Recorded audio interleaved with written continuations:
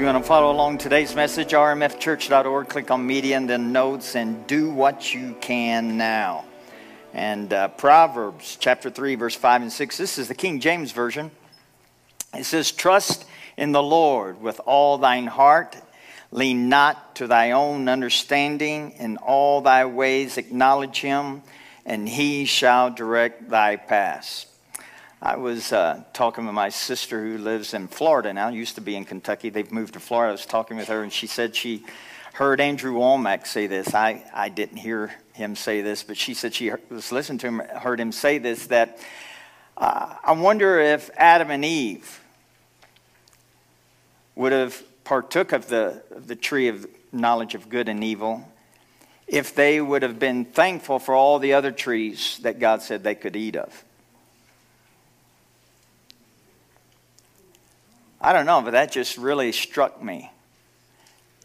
If they would have been thankful for all the other trees, would they have really focused on the one tree, the one tree that they couldn't eat?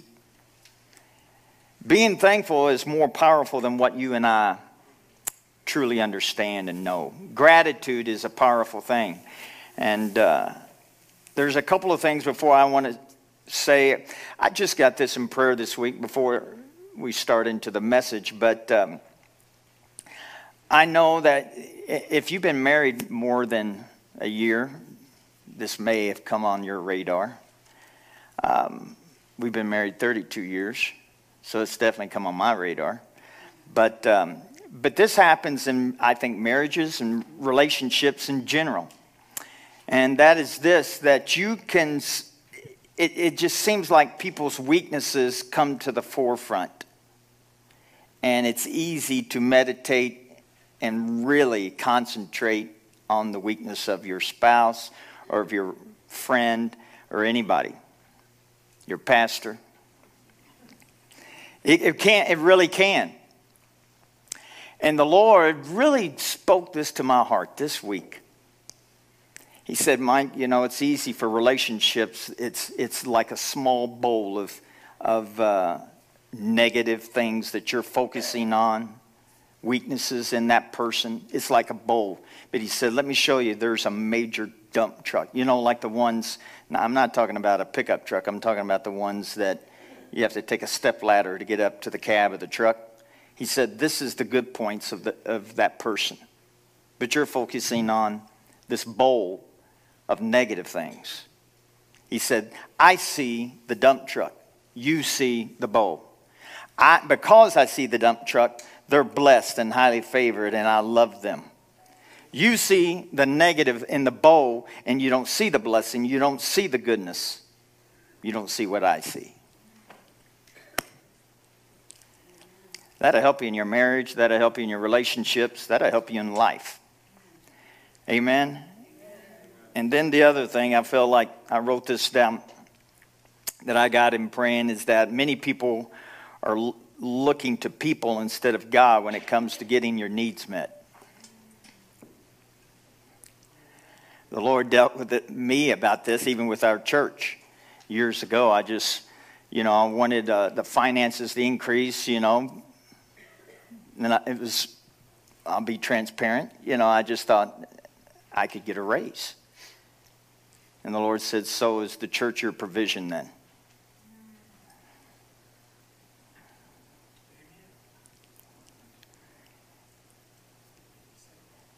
Are we looking to people?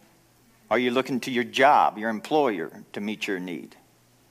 I tell you what, there's no nothing greater than looking to God to meet your need. Because He won't just meet the need, He'll far supersede. God has not ever been the God who just meets the need. If you don't understand that, just read Matthew, Mark, Luke, and John when Jesus said, Peter, cast your net on the opposite side. You know, Lord, we've fished all night.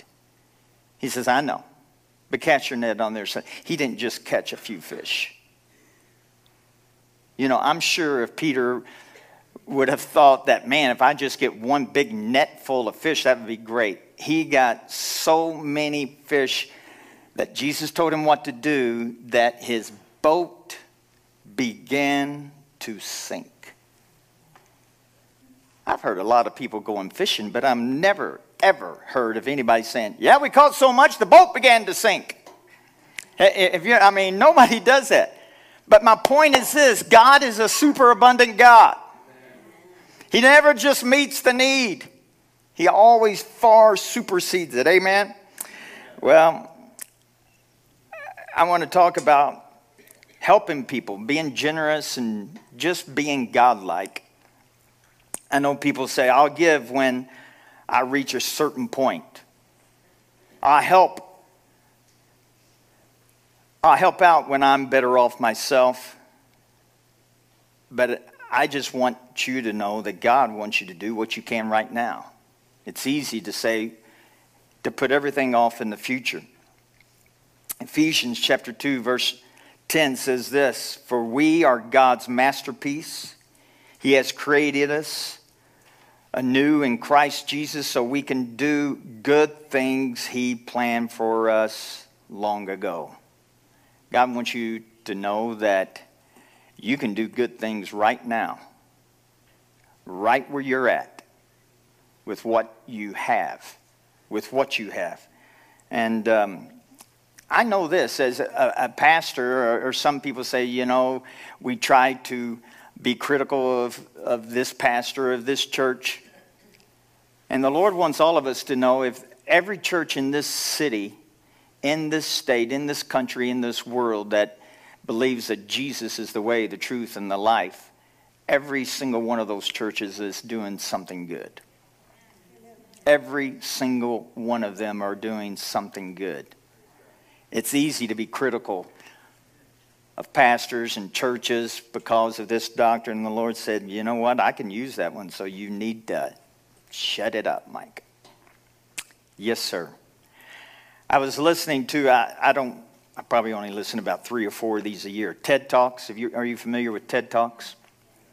And this one was, you really should, I don't, I don't think I've ever told our church to listen to any of the TED Talks. This is probably a first. But this one's called Radical Generosity is a Way of Living, Not an Act of Giving. Everybody should watch that. It's 14 minutes long, I think. I'm not for sure. I think the, it's a young lady, Amy Campbell, but don't quote me on that. If you just Google radical generosity is a way of living, not an act of giving. It's a TED talk and she co authored with a book uh, about generosity. And she said, you know, exercise is not the secret pill. Uh, meditation is not the, she went all these things she has discovered and found out that being generous will help you in every area of your life. Every area of your life. And they have done a study and said people who are generous, number one, live longer. People who are generous live longer. They have less depression. They are physically healthier. And there are endorphins or chemicals that are released in your body uh, when you give. When you give. Now, I've never heard of that. It says this on a scale of 1 to 10, where insulin is a 10, Generosity, they've rated it to seven or eight of what it does to your body. And they've come to this conclusion it's not a matter of how much you give, it's just that if you give. It's not just, oh, if you give a big, oh, it really helps you. No, even the small things. I wonder if that's why God said it's better to than to. Hmm. Most people think that you you know you're just wanting to get something from somebody if you talk about giving and you know even God you know people think well he just wants me to give because he wants something from me. No, he's trying to get something to you, to us. It's just against you know human nature to say, "Oh, you should give. It's better for you." Most people in the world would go, "I don't think so. I don't think so." I mean, you give $100, usually you check your checking account on Monday morning, you're $100 less. Have you ever been there? I mean, like, well, really nothing happened, you know, except I see a negative point in my checkbook. And so your human nature is, I, I, it's just hard for us to have a revelation that it is better to give than it is to receive. But it's true. Everybody believe the Bible? So, I, I felt like saying this, young people, all y'all listen to me, if you're young. I'm young, so I'm listening. If you're young, listen to me, young people, because it's easy for you to think, you know, this is really for older people. You know, when you have more, when you're better off financially, it's for you. And I remember, man, when I my first job at McDonald's, I was making two dollars and five cents an hour, and my mom struggled financially. It was just me and her, and so I mean, I worked hard for my money. I had to get up to go to school, and I was working 40, 50 hours a week going to school full time as a senior in high school. And so uh, when I got my money, I wanted to spend it on what Mike Davis wanted to spend it on. And I was not a generous person, I was not a giving person. Matter of fact, I had a 55 Chevy, and I spent 95% on that car. The other 5% was for food, so I could survive.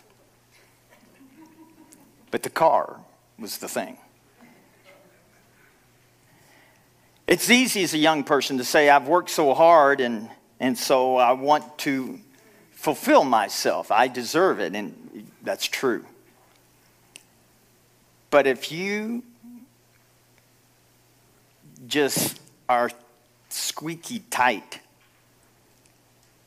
that you don't give, it's going to affect your health. It's going to affect your happiness. It's going to affect your life, period. Hallelujah. And let me say this don't feel condemned because some of you right now are going, Dear Lord Jesus. No, don't feel condemned. Just start doing it. You have to be intentional. And let me just say this you have to be intentional about your giving and I'm not just talking about money. Being generous with your time, being generous with your actions, being generous in every area of your life. You have to be intentional. Letting people go before you. You know?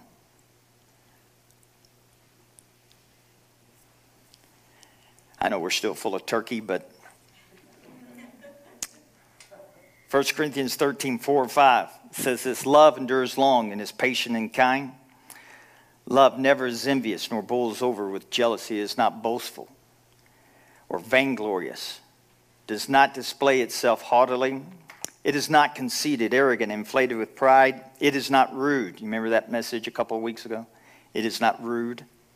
It is not rude and does not act unbecomingly. Love, God's love in us, does not insist on its own rights or its own way, for it is not self seeking, it's not touchy or fretful or resentful. It takes no account of the evil done to it, it pays no attention to a suffered wrong. That's the love of God that is in you. And listen, this is how God feels towards you as well. Did you know God's not touchy? You know, that's what we used to think. If you sin, it just offended God. God's not touchy. God is not touchy when it comes to your life and your relationship with Him. We've all had kind of relation, haven't we all had kind of relationships where you have to walk on eggshells as soon as you are in contact with them? Don't you just hate that? I hate that. You know, you got to be careful what you say, and, and you know, they, they will take everything to the negative. You, if you say something, you think, Dear Lord, I mean, I'm just, I just want to be Mike Davis. I don't want to be Pastor Mike you know, I have to just be careful, you know. You say, hey, how you doing? You know, and you say something that could be taken wrong, and they go, Pastor Mike, I got. Don't be touchy. God's not that way towards you and me. Psalms 112, 1 through 5 says, Praise the Lord. How joyful are those who fear the Lord and delightful in obeying his commandments. Their children will be successful everywhere and an entire generation of godly people will be blessed. How is that going to be? Because people of God are going to have generosity flowing out of them. And it's going to bless a whole generation because of that. Though themselves will be wealthy. There's so many people that don't like to hear about money in church. Let me just say something. You know, for those people who are against people who are wealthy, if you are just getting your bills met, you will not be able to help anybody. And yet we ridicule or, or say something terrible about people who have some money. I've come to the conclusion that if you want to be a blessing, you got to have some of it. They themselves will be wealthy, and their good deeds will last forever. Man. One day, if Jesus doesn't come, you and I are going to leave this planet. One way or the other, we're all leaving. You do understand that. And I don't know about you, but I want to have a footprint left on this earth that says something good about the Lord Jesus Christ that He did through me. Amen. Hallelujah. Light shines in the darkness for the godly. They are generous, compassionate, and righteous. Man, those are three slap you upside the head words. Good comes to those who lend mercy or money generously and conduct their business fairly. Good comes Good comes to what? To those who lend money generously and who conduct their business fairly. 1 Peter 1 7 or 2 Peter 1 7 says this, and to godliness add mercy toward your brothers and sisters, and to mercy toward others add unending love. God just wants to manifest himself. And do you know what the number one way he wants to manifest himself? Through you and me through you and me. He wants to manifest himself through you and me. Ephesians 4:28. I'm going to read these quickly. If any one of you has stolen from someone else, never do it again. Instead, be industrious, earning an honest living, and then you will have enough to bless those in need. I feel like the Lord gave me this revelation a while back. I don't know how long ago. But, um, you know, because I just felt like, you know, I want everybody to have a revelation and that they can be wealthy, that they can be blessed. And finally, the Lord said this to me. He says, Everybody's not going to get that, Mike. I said, What do you mean? Not everybody's going to understand or get that revelation. They're just not. It's just not. It's available. It's available to everybody, but not everybody's going to walk in that. He said, This is why. Listen to me. This is how good God is. He said, This is why I want to people that do have that revelation to be abundantly wealthy so they can help those who don't see it. I don't know about you, but I just think, man, God, you are so good. He is so good. Instead of like, well, you don't get it because, you know, you just harden your heart or because you don't have this or you just don't see it, you just don't have the wisdom, whatever. You, well, you're just going to have to do the best you can. God goes, no, they don't have to just do the best they can. They can still look to me and I will raise somebody up that will help them. Man, He's a good, good God. In America, generosity implies an open handed sharing of all material resources. In other words, a restaurant can serve generous portions. Don't you like to go to those restaurants? Melody and I one time went to a real super fancy, you know, $50 million type restaurant where, you know, you pay super high dollar. And they brought the plate out, and I just stared at it. You know, I'm not a big eater. Melody and my family, people who know me know I'm not a big eater. But I do like to eat when I pay, you know, $100 for a meal. You, you, I want some food on the plate. And she, they walked away, and I stared at it, and I thought, that's a good four bites, and that's on that meat. I forgot when, and, and that's it. And I thought, dear Lord in heaven, let's pray. God will bless and multiply this $100 meal. Here we go. oh. Anyway, it's some restaurants are, have generous portions. A donor can be generous with their money. A friend can be generous with their, with their pickup truck.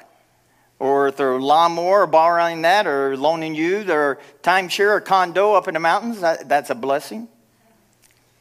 While some people are generous with the money, others can be generous with their time.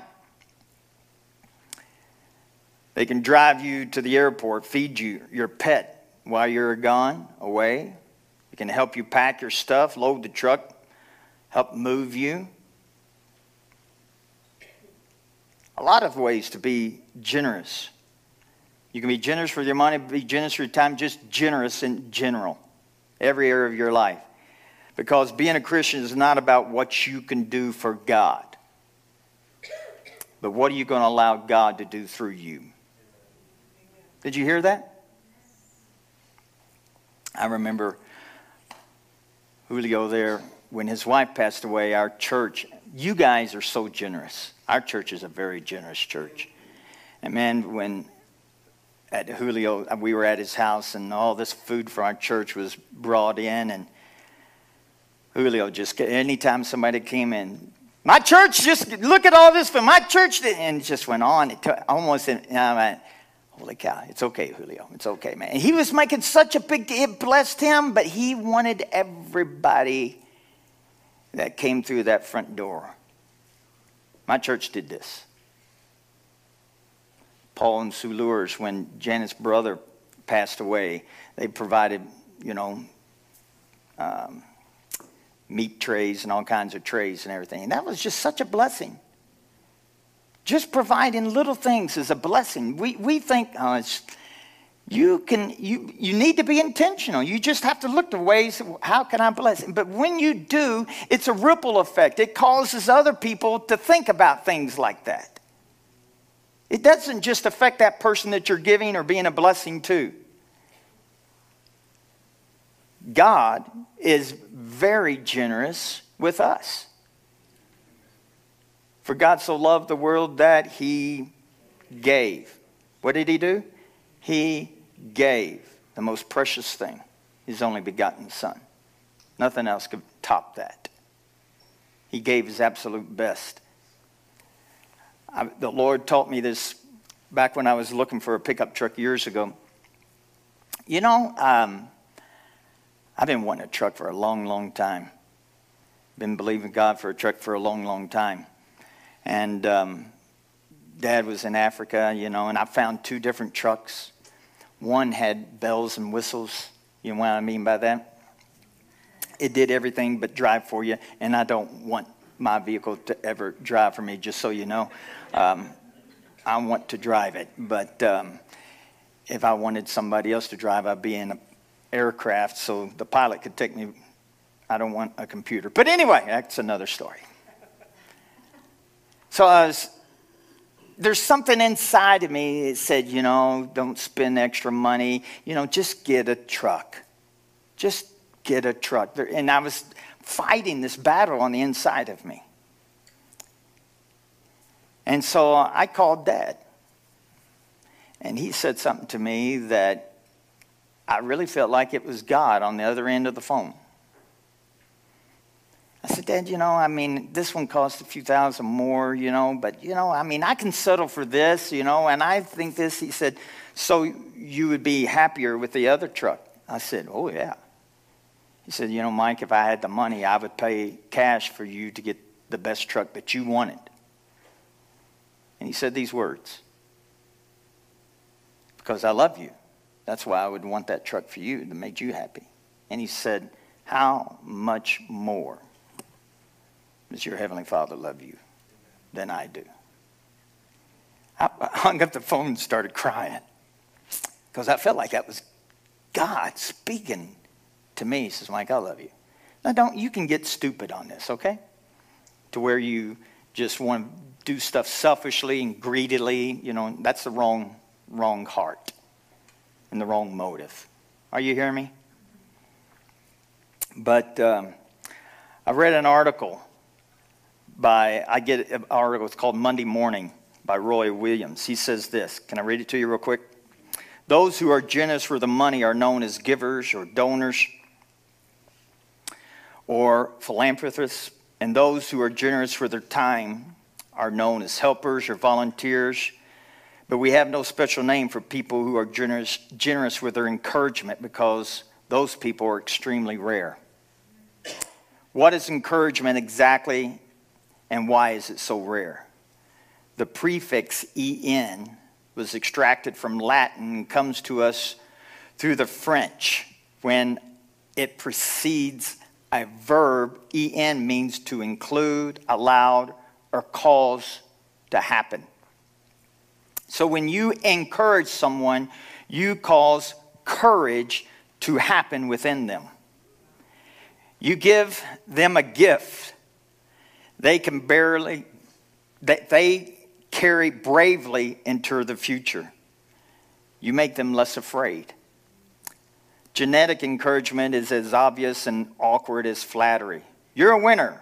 Or you can do that. To truly encourage a person, you must speak to an ability and a talent or special sensitivity they possess. When you privately tell a person about something special you see in them, something that they too know is there, you give them courage and confidence to do it. I've noticed, in other words, I've noticed that you see connections and relationships between things that most people never notice. I think this may be one of your superpowers. I've noticed that you can always tell when someone doesn't feel included and then you make them feel like they are part of the group. I really admire this about you. I've noticed that when everyone else is making excuses, you are the one who steps up and does what needs to be done.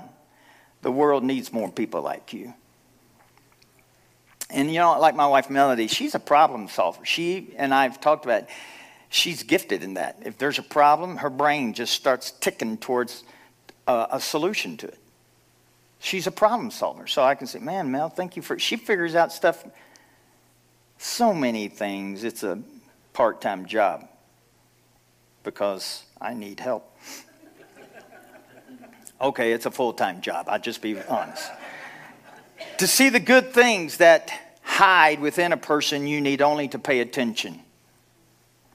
Attention is a high denominational currency in any transaction between two people. Attention is something you pay, and insight is what you can buy with it. If you want to have insight into a person's hopes and dreams, you need only to pay attention. We want to empower people. We want to give them courage and confidence to face the future with a smile. We want to help them be a stronger and happier person. So the next time you're with someone that matters, talk less and listen more. Pay attention to their actions. And when you notice something they are good at, tell them what you have noticed that they are good at. I'm telling you what, that this is a lacking commodity on our planet. Everybody wants to be critical. Everybody, you just, man, don't you just wish Facebook and social media would go away? I think that would be the greatest blessing the planet could ever have, along with all the news media. If there's some way to knock out those, no, I'm just kidding. But anyway, I, I copied down Melody's story when she was in the Congo. And she wrote this. I believe it was in an email. She said, There are so many differences in culture between here and the Congo and my beloved Pueblo. One of those things is hospitality. It's very different here. Just a few days after my arrival, a group of Stephanie's teachers, Stephanie is Melody's sister who works over there, a group of Stephanie's teachers came to welcome me and brought me a chicken some papayas, bananas, and peanuts. Another day, the principal of the Bible college was wearing a beautiful dress, and I told her how pretty it was. Her response was, You like it? I'll have you one made. I assured her I didn't need her to do that, but these wonderful believers in a third world nation excel at hospitality and giving. They don't have a whole lot compared to other parts of the world, but they are generous with what they have. And it's really a beautiful sight. And then there's the music. You're going to have to crank it up. She talks about the music and everything. There are many cultural differences, and yet there is a common language that the Lord placed in each of us love. Paul writes, Love never fails, and is true. God created humanity in his image and his likeness, and God is love. Because of that, each of us have the capacity to both give and receive love regardless of the, of the culture. It bridges the culture gap. A little girl walked up to mom in church last Sunday, and this is Mama Hagemeyer. And for those who know, she really can't communicate right now. And, uh, but a little girl walked up to mom in church while Melody was there and reached out her hand to her. She came and just laid her head, the little girl, on mom's lap. And mom hugged and patted her head throughout the whole worship. The little girl didn't move. She was just soaking up mom's love. And mom just glowed as she and the little girl communicated through love without speaking a word. No matter what personality differences there might be or other difficulties, just love because love never fails.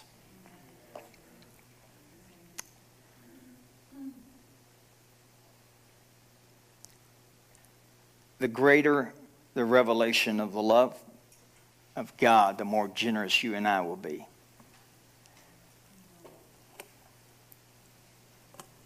You know, in Africa, they trust me. Everyone here has more than what the people in, in Kalimi probably have. We think we are missing this, we don't have enough of this. And you just go out to a third world country, you'll come back and realize how blessed you really are. Like Melody said, it's so great when you turn the faucet on and water comes out. Most people there don't have running water. You don't have electricity all the time. I just want us as a church to truly be intentional with our giving, whether it's encouragement, whether it's money, whether it's time, whatever it is because God's trying to get something to you, not from you. And we need to have that kind of mentality. We need to have that. And during the holiday season, man, be a blessing to people.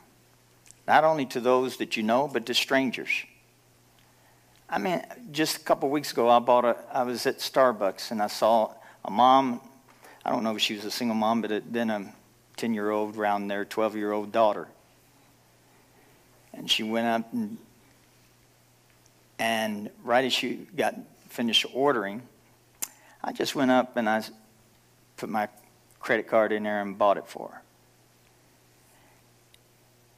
And I didn't realize, I just thought, you know, I just want to bless you. Can I say something? I didn't hear an angel, didn't hear God. Some, so many of us are looking for something supernatural. And because you're looking for it, you miss it. Just, just do it. And when I backed up, you know, it's no big deal. And I'm not saying this to pat Mike Davis. I'm trying to teach you just to be intentional on little things. And that little girl did not take her eyes off me.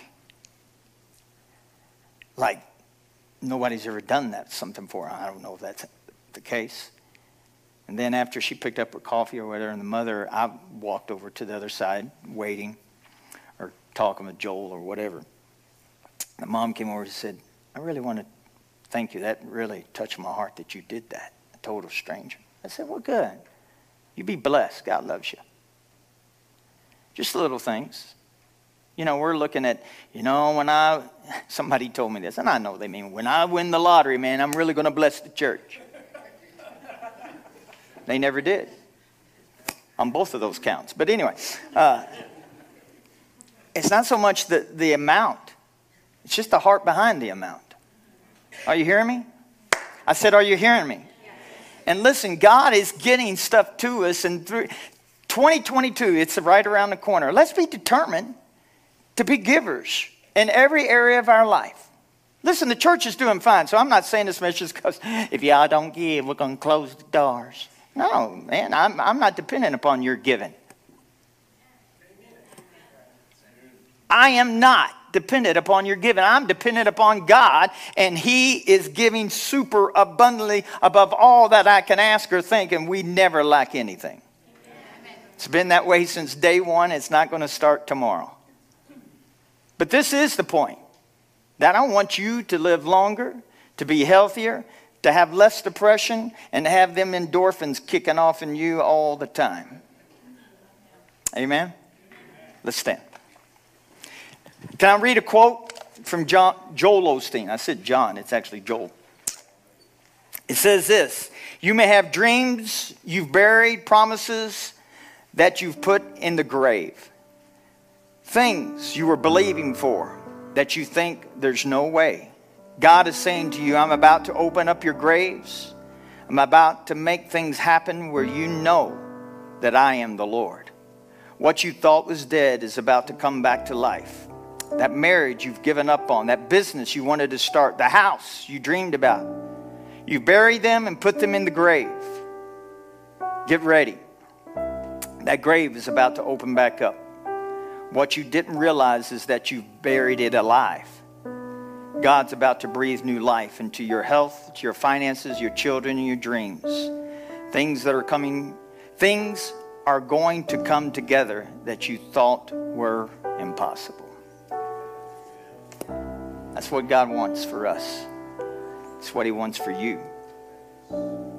He's not trying to get something from you. Our Father's always trying to get something to you. Let me pray for you. Father, I just believe in Jesus' name.